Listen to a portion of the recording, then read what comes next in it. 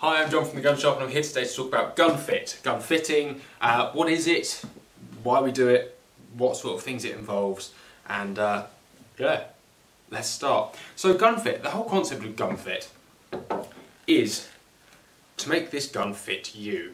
Uh, the whole part of hitting stuff with a shotgun is aligning your rear eye with this rib down the centre of this rib with this bead, connecting your eye with the bead with the target and pulling the trigger. Whilst also anticipating lead, drop, all of the things and where to put the gun, but that's by the by, that's a whole nother thing. If the gun isn't pointing where you want it to point, you're not going to hit anything. Imagine if you like your rear eye is like the rear sight of a rifle. The foresight is a fixed foresight, you can't change that. However, on a rifle you can go click, click, click, click, click, click, left, right, up, down, until you have zeroed your rifle on target. There's no need for fingers there. You zero your rifle. You can zero your shotgun. Essentially, getting your eye into the correct position to put that bead on something and have that bead center pattern every time you pull the trigger. That is the pointing good gun fit. Of course you can make yourself fit around a gun. You can sort of, as we've said before, roll your head over, put your head up, knock your head right down, roll your head the other way. You can make a gun fit you. You can put it out your shoulder. You can do what you like to be able to get your eye in that right position. But unless it is natural, you will not be a good natural shooter. So, uh, the first measurement we're going to talk about that we're going to take whilst fitting a gun is the length of pull. The length of pull is from the centre of the back of the stock to the furthest point back on the trigger. Or, you know, if it's a full swept back, you get the, you get the point, right? Um, from there to there. On most guns, this will range from somewhere between 14.5 to 15 inches from the factory, and this will fit most people. Um, most people who are between, you know, 5, 5, 5 6 and 5, 11. Once you get over the 6 foot mark, you start to find them a little bit short. Uh, this length is determined by a number of factors. There's obviously the old test where you hold it on the crook of your arm and your finger pad can pull the trigger, that's about the right length. These, uh, the three fingers from your nose to the, from where your nose goes to the front there, like so, like this, or like this. And those two are, um, they're not great to be honest. There's a lot more factors to go into than that just to see if your gun's going to fit you in length. It's a good indication of length, don't get me wrong. However, the nose thing can be changed by just bringing your head up the stock. Oh, this gun's too short. Oh, this gun's too long. Uh, and the arm thing can be changed quite simply by um, just changing your arm. So they're not immense indicators, they're pretty good. That's a good start. There's a lot of factors to go into, let's say. Height, neck length, arm length, um, hand size, the shape of your body. If you've got massive shoulders, if you spend your life down the gym, you're going to need a slightly short stock because you've got an inch of muscle there. Uh, the same goes for if you like uh, McDonald's a little bit and you're carrying a little bit of extra weight for the winter, a bit of insulation, there's nothing wrong with that. But you need to take that off the back of your gun. Hence, fit can actually fluctuate throughout your life as your body changes and so on and so forth. Your stock length can fluctuate. There's obviously a bit more than just length of pull. You have length to the toe and length to the heel. Uh, this, called the, the actual pitch of the stock, can change regarding body size, but that's a little bit further on down the line than just your standard stock length. Body shape will matter as to how you have this, this actual the, the pitch of the stock. A skinnier person might want it a little bit deeper or a bit longer at the toe, same as game shooting.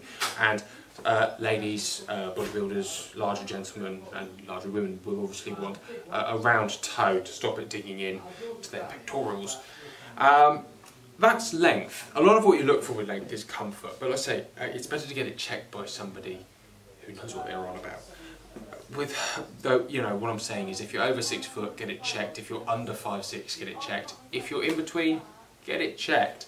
Uh, an eighth of an inch a quarter of an inch can make all the difference. So get a gun that fits and or get a gun make sure the length is right. That is the first thing you need to check. The second measurement I'm going to talk about is drop.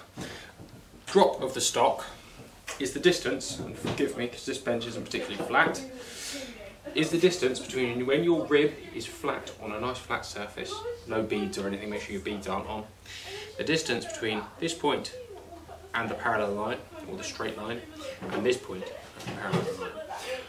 This obviously affects on how high your eye is, but in comparison to your perfect line of sight, aka point of impact shooting. Some people do like it high, so bear in mind what it's for. A game gun will have a bit flatter, so you'll see less rib. A sporting might want to see more rib.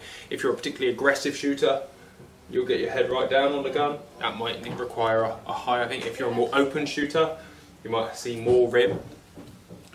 So it very much depends on your shooting style, your dimensions. Remember that this wood here is designed to fit into your face here, and then that distance there is sort of the distance of height that you need. However, because the stock is pitched, AAA,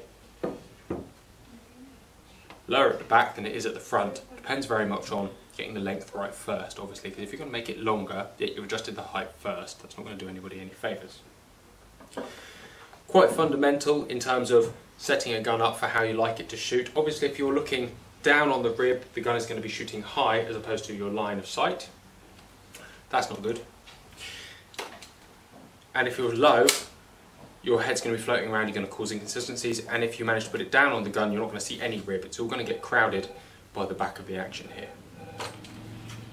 So cast, like all things gun fit related, it all very much relies on this, the rib, and how that points towards where the gun is pointing. Cast is the actual bend of the stock, that way or that way away from this centre line. For a right-hander, it will always be that way, and for a left-hander, it will always be that way. I say always, there are certain fits where the uh, opposite cast actually achieves the correct fit.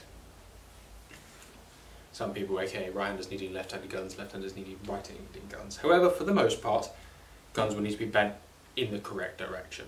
In varying amounts. Obviously everybody's jaw size is ever so slightly different, everyone's shoulder width is different.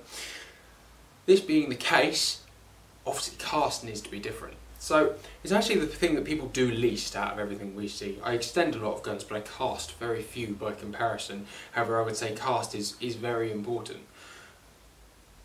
Not maybe quite as important as length, but it's. I think it's all on a par. If you want your gun fitted, you might as well get the whole thing done. Uh, this is done using heat, so we heat the wood up, it becomes very malleable, and then it's essentially formed to the place where you want it. Uh, this gun actually has Christ, quite a lot of cast. I couldn't see that until I had a look at it. Quite a lot of cast. It's my gun. I need a lot of cast. I've got a big, big fat face. So um, the, the, more fat, your, the wider your jaw, the fatter your face, the more cast you need without having to then roll your head. However, if you turn your nose over your thumb, you can cancel out a touch of cast, but that's all very much personal. If somebody turns their head a lot when they put a gun into their shoulder, they're going to need a bit less cast. So it's very technique driven let's say.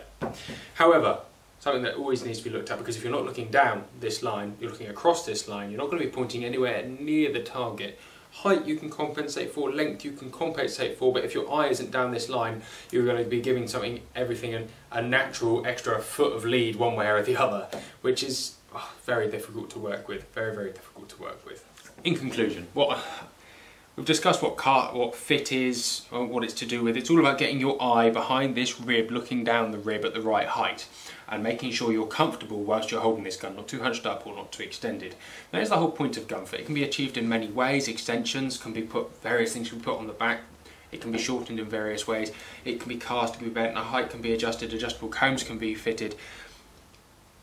The whole point of this video is, is to let you know what, what it is and really as a final conclusion to say get it done, get it checked. Don't get it checked by a mate, get it checked by someone who knows what they're doing. A lot of people go on this autocorrect thing where they'll make a gun fit them. This It's not good. That really isn't good. A lot of people starting out will come into the shop and ask for guns fitted. It's quite difficult unless you developed a technique to fit a gun properly. A gun that fits you better than most is going to be obviously a good start, however, perfect fit isn't to be achieved. And thirdly, Gun fit changes. People put on weight, they lose weight, they grow, they change, they shrink. Things change. Your body changes, the way you shoot changes, your eye changes, the way your neck changes. The older I get, the less agile I feel myself getting, the more the less aggressive styles of shooting I take because I can't get over the gun quite as easily as I used to. As depressing that sounds, I don't feel myself being as limber as possible, quite as flexible. Things change, get your gun fitted, and uh, we'll go into a bit more detail about these things later on in a few more videos. Thank you very much for watching.